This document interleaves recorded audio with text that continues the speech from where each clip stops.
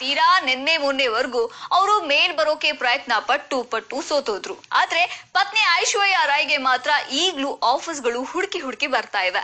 Commercial ಆಗಿ ಐಶು ಸಹ ಮೊದಲಿನ ಜಾದು ಮಾಡೋಕೆ ಸಾಧ್ಯ ಆಗ್ತಾ ಇಲ್ಲ. ಈಗ ಐಶ್ವರ್ಯ ಪತಿ ಅಭಿಷೇಕ್ ಬಚ್ಚನ್ ಮತ್ತೊಂದು ಕೈ ನೋಡೇ ಬಿಡೋಣ ಅಂತ ಪಂಜಾಬಿ ಲುಕ್ನಲ್ಲಿ ಬರ್ತಿದ್ದಾರೆ. ಇದರ ಹೆಸರು ಮನ್ ಮರ್ಜಿಯ ಅಭಿಷೇಕ್ ಬಚ್ಚನ್ ಈ ಹೊಸ ಅವತಾರ ಎತ್ತೋ ಕಾರಣ ನಿರ್ದೇಶಕ ಅನುರಾಗ್ ಕಶ್ಯಪ್. ಈ ಚಿತ್ರದ ಕಥೆ ಹೀಗ್ ಹೀಗೆ ಬರ್ಬೇಕು ಅಂತ ನಿರ್ಧಾರ ಮಾಡಿದ್ದ ಅನುರಾಗ್ ಕಶ್ಯಪ್ ಈಗ ಚಿತ್ರದ ಶೂಟಿಂಗ್ ಕಂಪ್ಲೀಟ್ ಮಾಡಿದ್ದಾರೆ.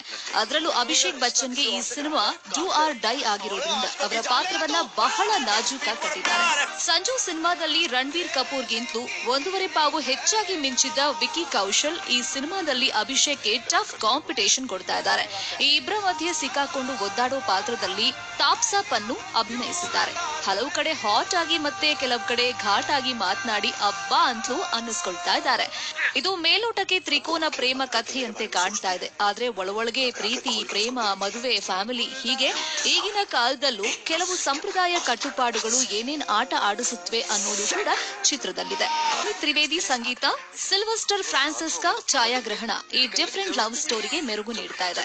ಮುಂದಿನ ತಿಂಗಳು ಸೆಪ್ಟೆಂಬರ್ನಲ್ಲಿ ಈ ಮನ್ ಮರ್ಜಿಯಾ ಸಿನಿಮಾ ತೆರೆಗೆ ಬರಲಿದೆ. ಅಭಿಷೇಕ್ ಈ ಸಿನಿಮಾ ಗೆಲುವು ಕೊಟ್ರೆ ಪತ್ನಿ ಐಶ್ವರ್ಯ ರೈ ಮತ್ತು ಅಪ್ಪ ಬಿಗ್ ಬಚ್ಚನ್ಗೂ ಖುಷಿಯಾಗಲಿದೆ.